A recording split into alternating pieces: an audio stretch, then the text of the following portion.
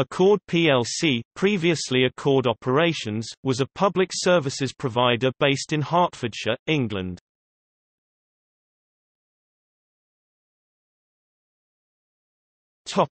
History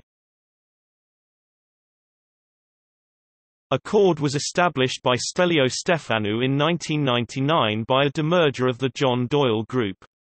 On 21 September 2007, after eight years of growth, the company was acquired by Enterprise plc for £180 million.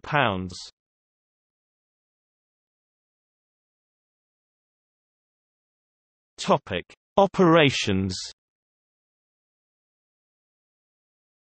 Company services included business, environmental, highways, housing and technical services mainly for local authorities.